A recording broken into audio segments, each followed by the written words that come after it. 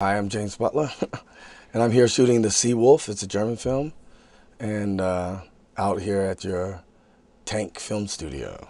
I love the Bahamas. Actually, I have family from the Bahamas, from generations to generations. Uh, Cat Island. I have some land there. I'm a butler, and there's everybody's a butler here, just about. And it's my first time, and I'm having fun. Really, lots of fun. And my career started in stunts. I was. Uh, a stuntman, stunt coordinator for about 10 years. And uh, then it, it, it, evolved into acting. I was a childhood actor anyway. I come from a performing arts family. My mother's a jazz singer. And um, so I went back to my roots, uh, per se. And I love it. and it's doing well. I just got uh, selected for the new Miami CSI season that comes in January. We're going to start shooting. And um, I did Resident Evil, Mission Impossible 3. Uh, I just finished a film last year in Romania with Keith Sutherland. It's called Wanted. That comes out, I guess, in December, so go check it out. It's a spooky kind of film, a thriller. Um, oh God, the list is. And, and in Germany, I'm uh, right now pretty much um, the only American actor on German television and film. That's also a long story. I did a film there as a stunt coordinator, and then I built a company there, and uh, end up going back and forth. And then they said, oh, you can speak a little German because I took it in college. And I said, yes, but at that time I was not telling the truth. My German was rusty. And so I um, uh, started working on it and they just lo love me there. And I, I, I, love them too. They're good people. They're really fun.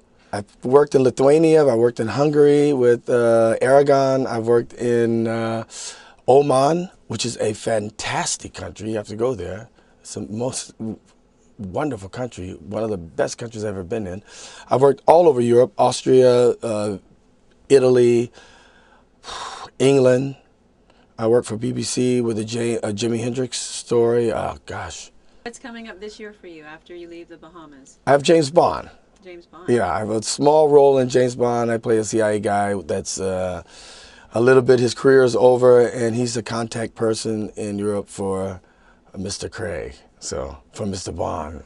Now, off camera, you were giving us some insight on how the business works. Uh, you spend time in Europe, you come into the States, and give us uh, some more of that insight on camera as to how you know you have to be stay close to LA, you have to be accessible, and all of that. Well, LA is fast paced, and if you're away from LA too long, you know, actually the competition in LA is is big. You know, you can find actors in every restaurant or waiting on tables or cooking. So everybody's an actor in LA. The taxi driver, if you go, what do you do? He goes, I'm an actor and I'm just waiting for my big break. So you have to stay pretty much available in LA.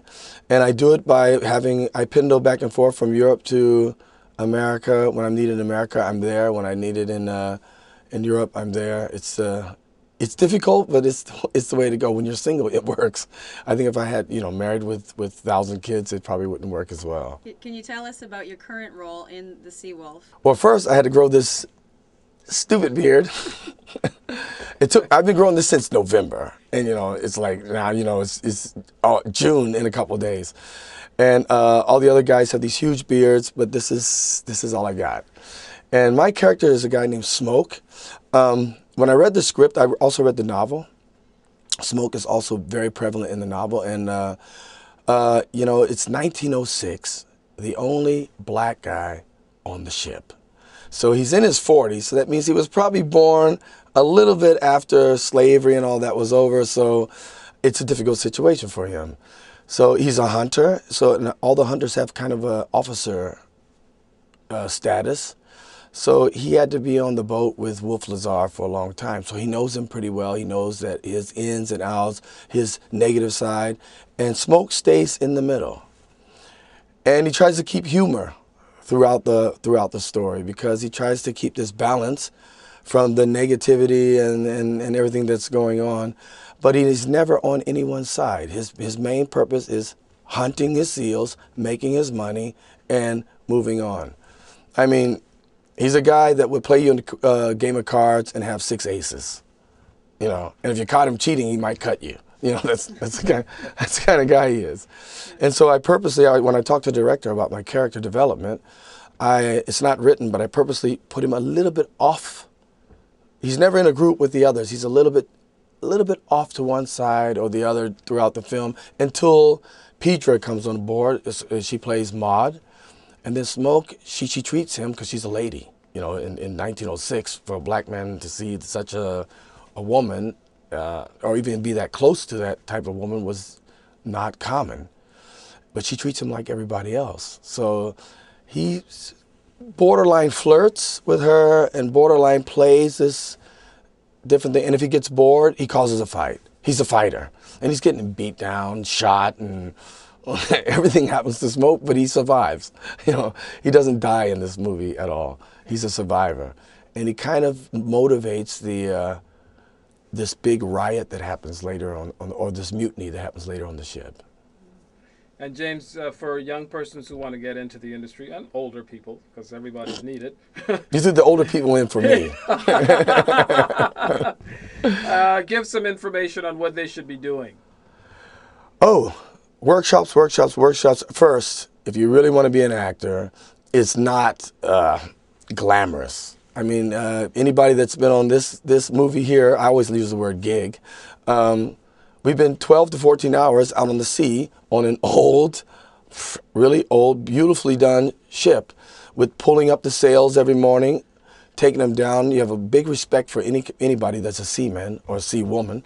Um, but it's not glamorous. We're really uh, out there having sandwiches being shuttled in and, and and this is not just this film. Film work is not glamorous. So if you want to be an actor for the fame, this is not the place to be. If you want to be an actor for the money, get a job at a bank. You know, you have to love it. It, has to bite you in some way, and you have to love it. And that's like, and do the, I call the road work.